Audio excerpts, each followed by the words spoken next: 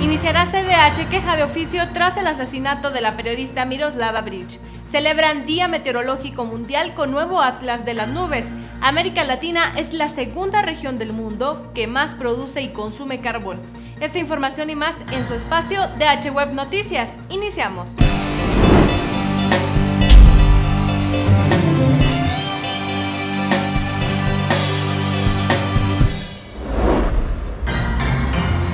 Marcela Zamudia y le comento las siguientes notas. El presidente de la Comisión Estatal de los Derechos Humanos de Chihuahua, José Luis Armendáriz González, lamentó el asesinato de la periodista Miroslava Bridge Belducea, ocurrido este 23 de marzo a primera hora de la mañana, y expresó sus condolencias para los hijos, familiares de amigos, así como al gremio de periodistas, y dio a conocer que la CDH iniciará una queja de oficio y dará seguimiento a las líneas de investigación de este caso.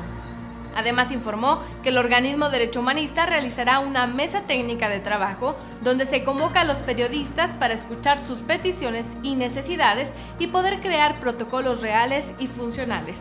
Afirmó que una de sus propuestas es que esta ley siga contemplando los cuatro apartados del sistema, es decir, un capítulo especial de principios generales que tienen que ver con la capacitación y para darle un contexto desde lo académico.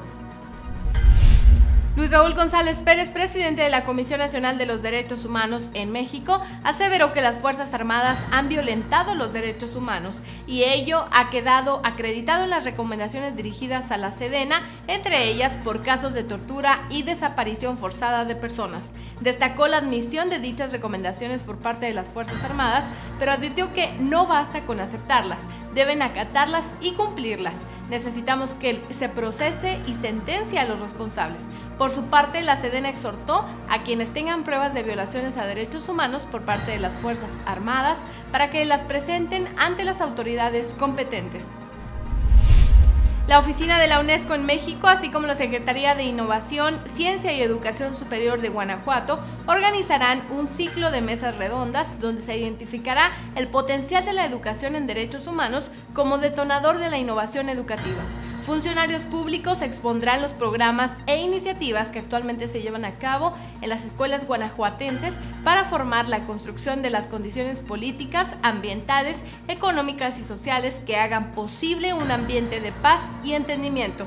El ciclo de mesas redondas, innovación educativa, educación para la paz y convivencia escolar se celebrará el lunes 27 de marzo en el Centro de Convenciones de Guanajuato. El Día Meteorológico Mundial se celebró este año con el lanzamiento de un atlas de nubes digital por parte del secretario general de la Organización Meteorológica Mundial.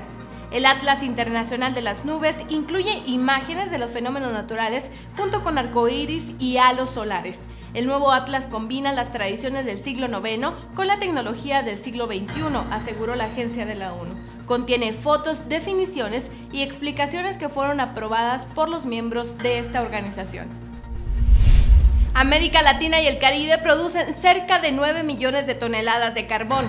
Se trata de la segunda región del mundo con mayor producción y uso de carbón vegetal por persona después de África que genera 32 millones de toneladas. Este dato se desprende de un nuevo informe de la Organización de Naciones Unidas para la Alimentación y la Agricultura dado a conocer este jueves. El informe denominado La transición del carbón también señala que Brasil genera la mayor cantidad de carbón vegetal a nivel regional y mundial, con un poco más de 6 millones de toneladas, lo que representa el 12% del total global. Agradecemos su compañía y esperamos que siga informándose a través de este espacio de HWeb Noticias. Hasta pronto.